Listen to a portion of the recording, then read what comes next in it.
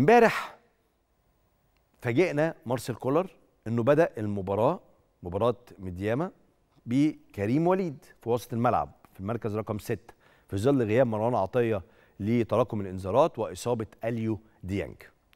معظمنا كان متوقع إن أكرم توفيق هو اللي هيبدأ المباراة خاصة إن كريم نيدفيد بقاله فترة مش بيشارك مع النادي الأهلي. ففاجئنا مارسيل كولر بكريم نيدفيد وكريم نيدفيد عمل مباراه جيده بالمناسبه جيده جدا. ولما حب يخرج كريم نيدفيد أشرك بسبب الإصابة يعني كريم نيدفيد أصيب في المباراة فأشرك اضطراريا رامي ربيعة في المركز ده. وأكرم توفيق على الدكة. وبعد كده اضطراريا برضو أشرك بعد كده أكرم توفيق. طبعا أكرم توفيق ده خبرنا يعني في رقم عشرة. كان زعلان جدا بعد ما مارسيل كولر أعلن تشكيل مباراة ميدياما.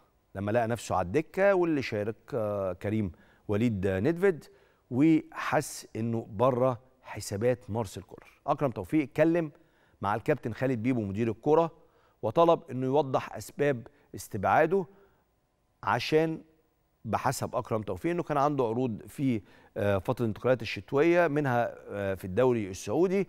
لكن مارسيل كولر والنادي الأهلي رفضوا رحيله وبالتالي هو عايز يعرف ليه ما شاركش.